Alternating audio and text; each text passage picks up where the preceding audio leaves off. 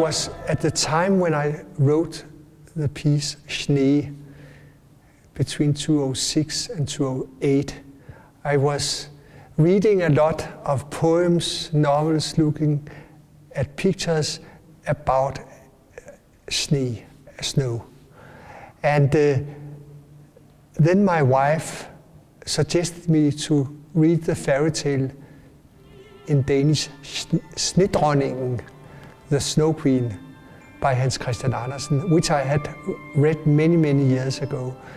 But I was very, very moved by it, also because it's a story, fairy tale with so many layers. Die unschuldige Welt von zwei jungen Leuten, Gerda und Kai, wird zerstört. Kai wird ins Reich der Schneekönigin entführt und alle seine menschlichen Gefühle frieren ein.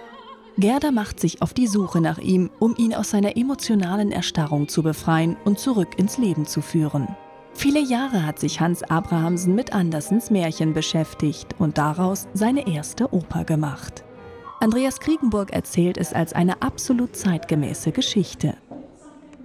Wir verlegen die Geschichte in eine Partnerschaft von zwei erwachsenen Menschen, wo einer der beiden, nämlich der Mann, unser Kai, irgendwann dem Druck, den der Alltag auf ihn ausgeübt hat, nicht mehr standgehalten hat und er hat aufgehört zu funktionieren. Er hat aufgehört mit jeglicher Reaktion auf seine Umwelt und hat sich quasi in seinen inneren Eispalast verzogen. Die Rolle der Gerda hat Hans Abrahamsen für die Sopranistin Barbara Hannigan geschrieben. Seit Jahren verbindet die beiden eine künstlerische und private Freundschaft. Of course, I think the partner of someone who has a, let's say, a mental illness also goes through incredible trials, incredible tension and stress, and so she's suffering as well. And she encounters all these strange characters through the storytelling that help her or slow her down or delay her or put her in the right direction until finally it is her dedication to Kai that saves him in a way.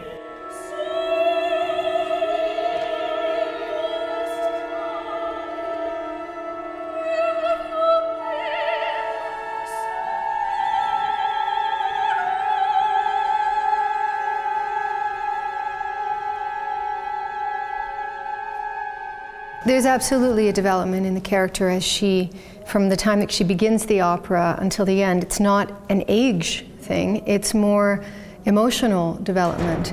Um, and you see that in the vocal writing because at the beginning I sing in a very almost parlando register. There's nothing showy in the singing at the beginning. And then as the piece goes on, I start to sing with a more extended register. I start to sing higher, fuller, with more strength. I sing against the men's chorus. I mean, it really, it's as if she becomes in command of who she is.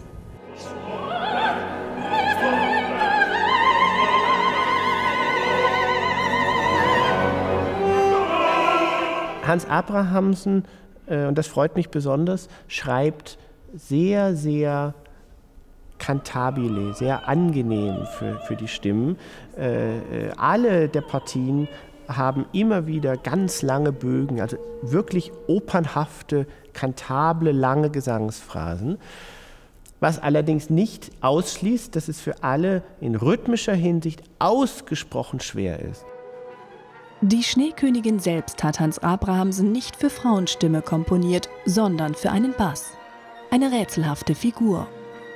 Das ist auf jeden Fall nicht die, die strahlende, mit dem Pelz äh, ummantelte äh, Königinnen- oder Übermutterfigur, die mit ausgebreiteten Armen die Kinder, die einsamen Kinder einfängt und äh, zu sich in den Eispalast entführt, sondern äh, sie taucht in verschiedenen Gestalten bei uns auf. Und am Ende ist sie eigentlich der Herrscher des Ortes der ultimativen Angst.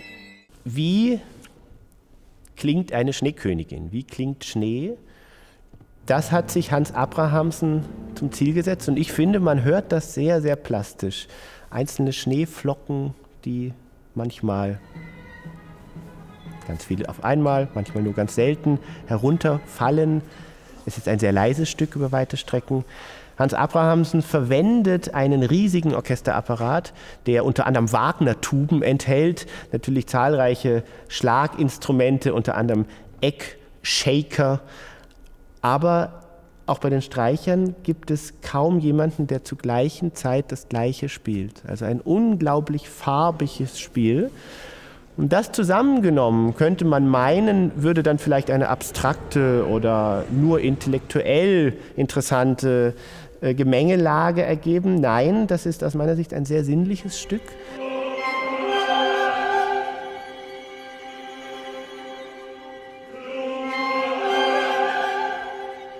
There is something about the, what can you say, cool structures, mathematically structures, you know, and that's one thing. And then perhaps also the more, do, do, do, almost like Tonmalerei in German. You can hear snowflakes or snowstorms, and uh, but also but but also a kind of coolness in the style. But then, of course, the contrast also is in the opera that there are also these passages of summer and spring, but still there is the coolness of winter.